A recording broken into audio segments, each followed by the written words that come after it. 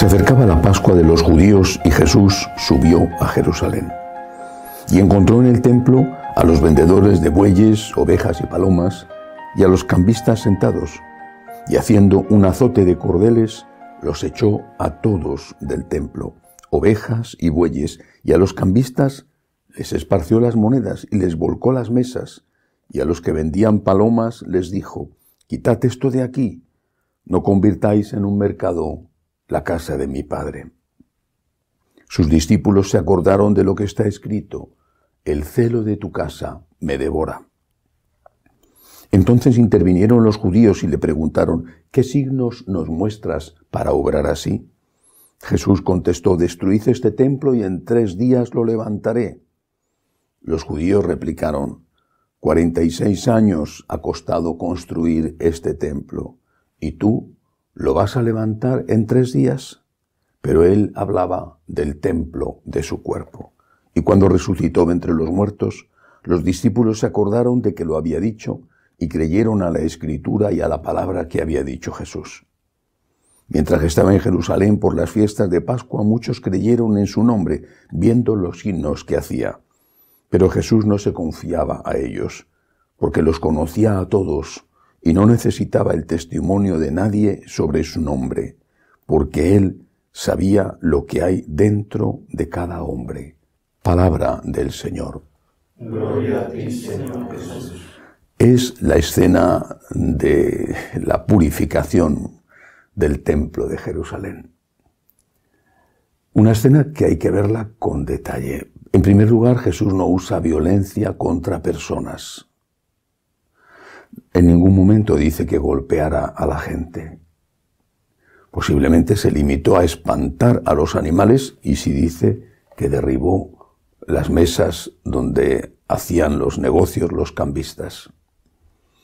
Por tanto, este pasaje, este momento de la vida de Jesús, no puede usarse de ningún modo como una justificación del uso de la violencia con motivos de justicia y menos con motivos de purificación de la Iglesia, de la religión. La violencia puede ser utilizada en casos extremos, por ejemplo, la legítima defensa.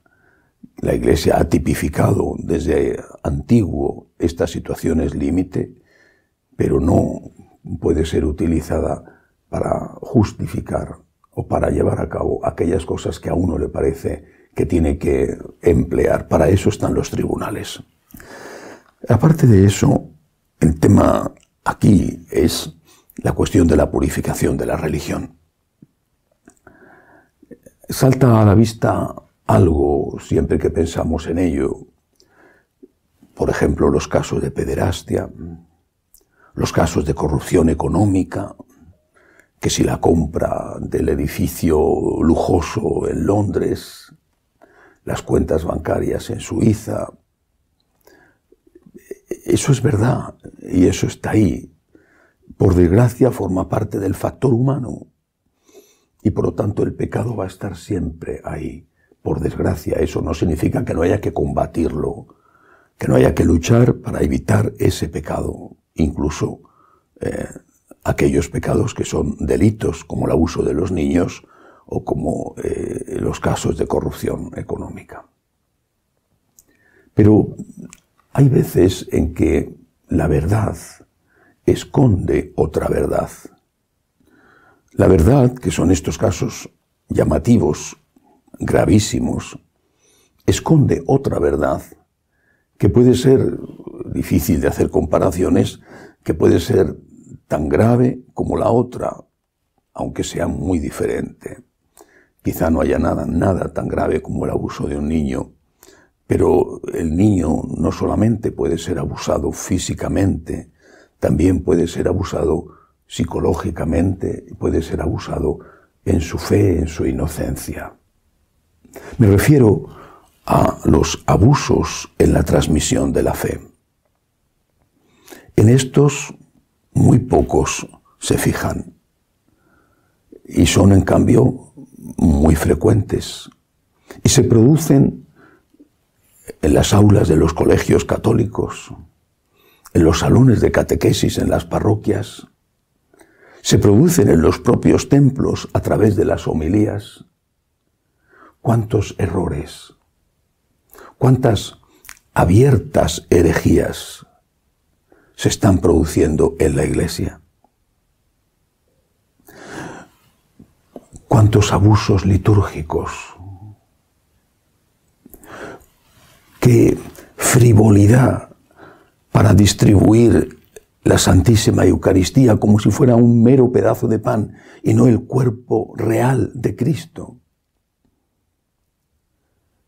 Hasta obispos, por ejemplo el presidente de los obispos alemanes, dicen públicamente que van a dar la comunión a los protestantes y no pasa nada. Posiblemente habrá muchos, muchísimos, quizá casi todos, que ante cosas así encojan los hombros con indiferencia y digan, no va conmigo, yo no lo hago.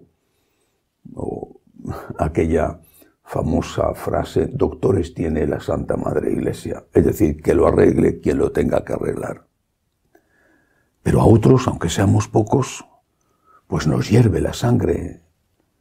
¿Cómo podemos asistir indiferentes a los sacrilegios? ¿Cómo podemos asistir como si no pasara nada a aquello que está haciendo daño a nuestro Señor? Cada uno de nosotros, con su pecado, sus pecados, es evidente que hace daño a nuestro Señor. Pero no me refiero a eso, con lo cual, repito, tenemos que luchar cada día me refiero a esto otro, que son pecados que hacen daño al cuerpo de Cristo en la Eucaristía.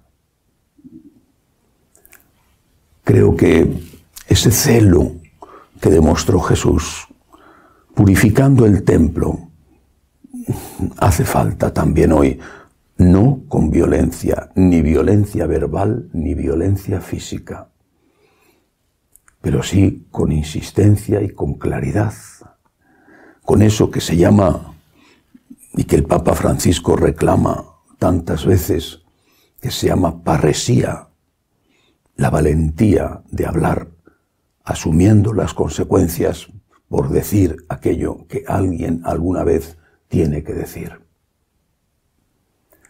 La iglesia es casa de oración y casa de caridad. La iglesia será siempre Betel, casa de Dios, y Belén, casa de pan. Casa de Dios y casa de pan. Casa de oración y casa de caridad. Cuando nos olvidamos de esto, de una cosa o de la otra, cuando nos olvidamos que la misión primera de la Iglesia, aquella por la cual su fundador la creó, es dar gloria a Dios, llevar los hombres a Dios y llevar Dios a los hombres. Es llevar a los hombres el pan de la palabra, el pan de la Eucaristía y en la medida de lo posible el pan nuestro de cada día. Es llevar Dios a los hombres, llevar los hombres a Dios. Cuando nos olvidamos de esto, y en nombre de la moda, de lo políticamente correcto,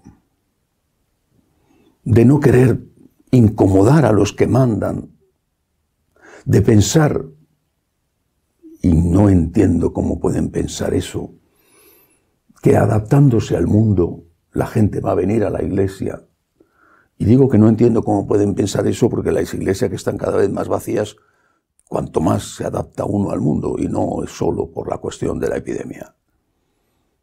A pesar de eso insisten e insisten en la adaptación al mundo, en rebajar las exigencias, en hacer lo que sea para que no nos critiquen por ser anticuados o por ser muy exigentes, por ser de otra época.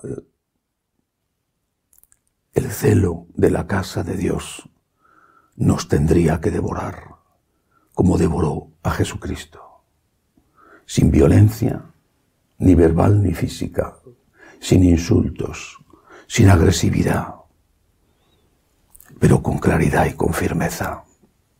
Cristo es Dios. Estamos aquí para dar gloria a Dios, para llevar a los hombres a Dios, para llevar Dios a los hombres, pero a un Dios íntegro, no a un Dios troceado, del cual hemos quitado aquellas partes de su cuerpo que no quieren ser escuchadas por los hombres, que no quieren ser practicadas por los hombres. Pidámosle al Señor que nos dé su mansedumbre y que nos dé su fortaleza. Su mansedumbre para aceptar las humillaciones que por defenderle nos vienen y su fortaleza para seguir defendiéndole a Él, defendiendo la palabra, defendiendo la verdad que es Él, aunque nos pueda costar la vida. Que Dios nos ayude.